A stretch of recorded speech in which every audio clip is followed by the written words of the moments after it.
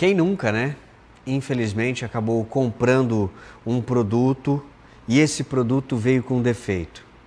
Quem nunca se sentiu lesado de alguma maneira e foi em busca de uma solução, onde você tentou negociar, onde você tentou buscar uma saída para essa situação e infelizmente nem sempre encontrou. E aí você às vezes vai para a rede social desabafar, procura o Procon, vai atrás de muitas situações para evitar com que você coloque aí a boca no trombone.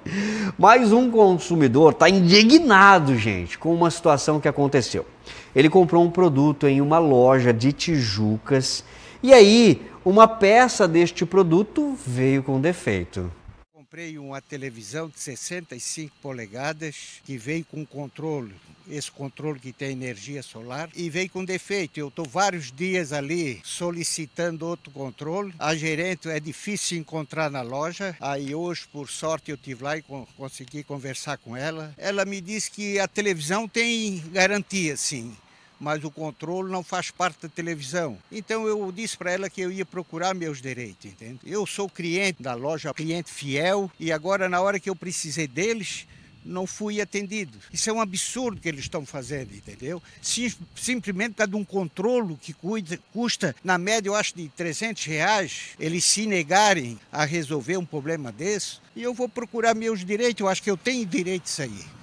O sujeito compra um carro e não vem o acessório junto, não vem a chave, não vem para ligar e desligar. É no caso da televisão, entendeu? Olha, nós entramos em contato com o Procon e, de acordo com o órgão, o fabricante já está sendo contatado. O consumidor foi direcionado então para um suporte técnico para aí sim, num prazo de até cinco dias corridos, a empresa iria entrar em contato com este consumidor através de um link que ele vai receber por SMS e que na frente da TV eles vão tentar configurar ou codificar para identificar se o problema realmente está no controle ou está numa codificação aí que pode acontecer.